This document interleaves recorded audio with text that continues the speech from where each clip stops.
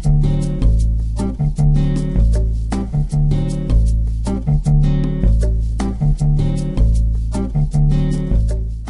my name is Brian Durning and in this tutorial I'm going to show you how to create and insert an interactive flash object with two SAP Crystal products. So let's begin. What you're looking at right now is Crystal Dashboard Designer, formerly known as Xcelsius. On the left hand side I've selected a ticker which happens to be a selector value and I placed it on the canvas and stretched it to an appropriate size. Next I'm labeling it. Don't have to give it a title but just to keep the components straight, I do that.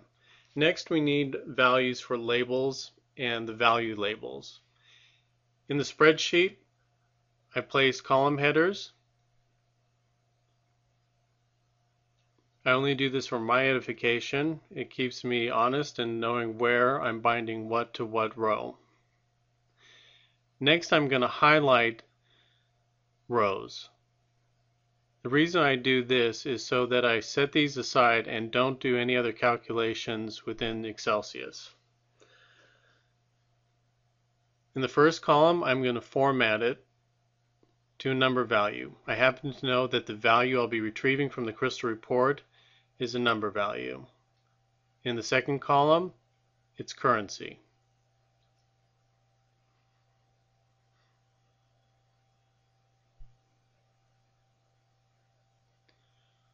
Once that is done, I go over to the labels and value labels area where I'm going to bind back to the spreadsheet.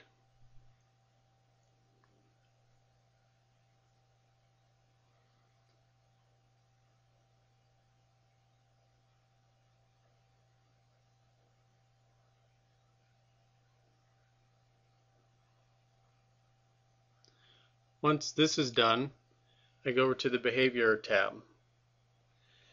Now we selected 24 rows, but we won't always fill all the rows with data, so I select Ignore Blank Cells. I don't like the item separator, so I'm going to put some asterisks in there to show more definition. Next we go over to Appearance, and I want the ticker to blend into the background, so I remove the Show Ticker background. The title isn't important here, but the display values are. And you can see because of the formatting that the currency was selected. I'm turning off title. I'm going to go back to the general tab and just ensure that the labels and value labels are still bound to the correct cells. And they are.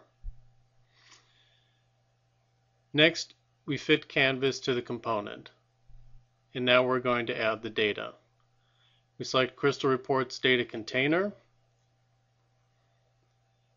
bind the row header to the label row, and the data to the value labels area. Here I'm going to make a note to myself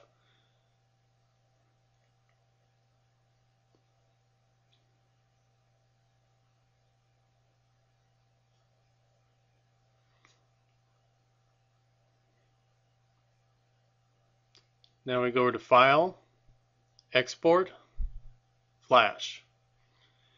And to show you that I'm not cheating, I'll call it Northwind Ticker Crystal. And we'll save.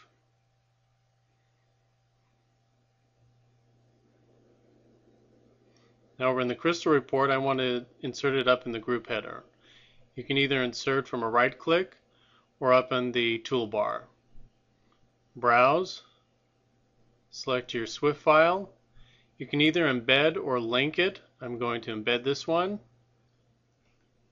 There'll be no data once the flash file is inserted, so do a right click and select Flash Data Expert.